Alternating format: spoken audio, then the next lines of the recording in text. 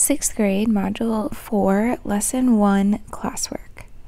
Opening exercise. Draw a tape diagram to represent the following exp- expression 5 plus 4.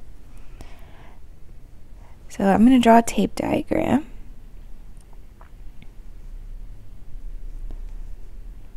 And I'm going to start with just 5.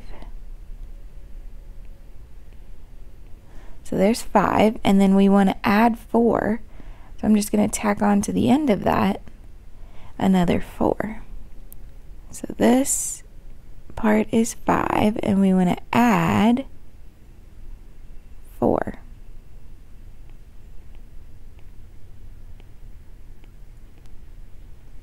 So there's my tape diagram representing 5 plus 4. B, write an expression for each tape diagram. So it looks like we have 1, 2, and then we added on another 2. So 2 plus 2 would be the expression. And since they're asking for expressions, they don't have an equal sign. If they wanted an equation, then we would put equals 4, but it's just an expression. And then the last one looks like 1, 2, 3, and then we're adding on another 1, 2, 3, 4. So 3 plus Exercises. Predict what will happen when a tape diagram has a large number of squares.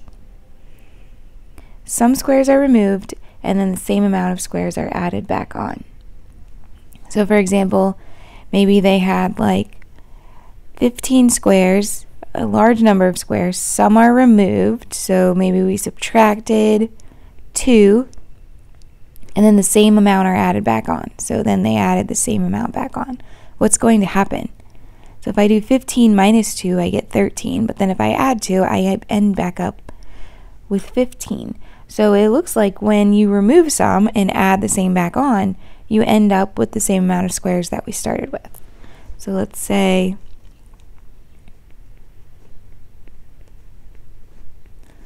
when some are removed, and then the same amount are added back on.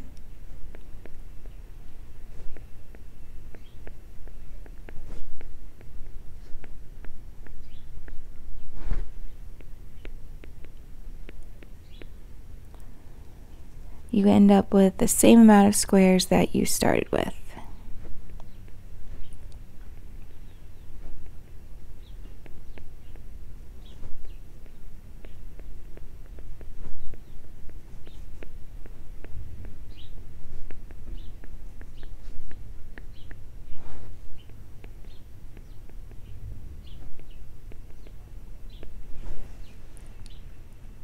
Number two, build a tape diagram with 10 squares.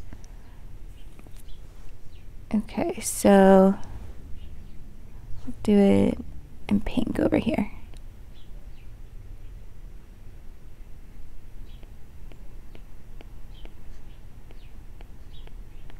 So there's my tape diagram with 10 squares. It says remove 6 squares.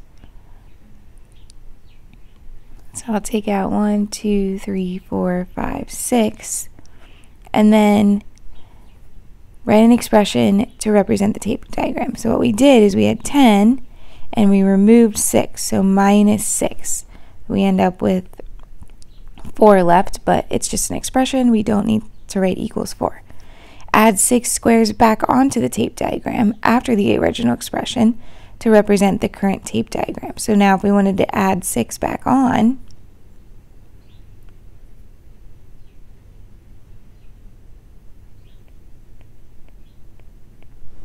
how many are we ending up with? So we're back to having 10.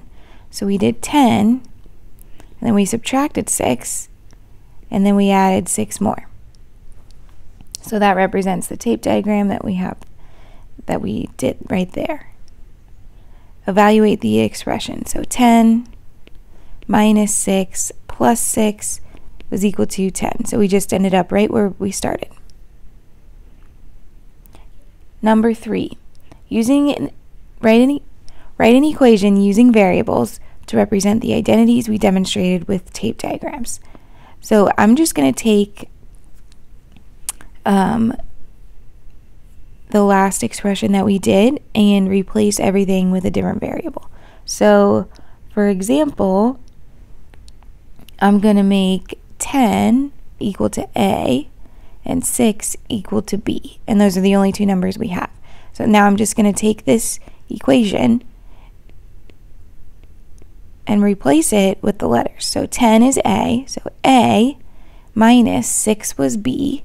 B plus the other 6 is also B is equal to 10 was A. So 10 minus A or 10 minus B plus B is equal to A. So that's what this whole module is going to kind of be about is learning about variables and how we can use variables in expressions and equations to solve to solve different problems. So using your knowledge of identities, fill in each of the blanks. So 4 plus 5 1 equals 4. So we're wanting to get back to 4, and we started with 4. So if we add 5, if we want to get back to 4, we're going to have to subtract 5. 25 minus what plus 10 is equal to 25. So we start with 25. We want to keep 25. So if we add 10, then we're also going to need to subtract 10. Something plus 16 minus 16. So these are going to cancel each other out, and we end up with 45, which means that we start with 45. And then 56 minus 20 plus 20, those cancel each other out. So we're just going to get 56. And then we're going to do the same thing, but with variables. So a plus b minus what gets a. We need b minus b to cancel each other out. That's actually my first first example that we did up there. c minus d plus d is equal to, so remember those cancel each other out, so we're left with c. e plus what minus what is something minus f is equal to e. So we want to end up with e we start with E, so we need F minus F to cancel each other out. And then D blank minus H plus H is equal to G. So these will cancel each other out. We need G, so we have to start with G. And that's the end of lesson one.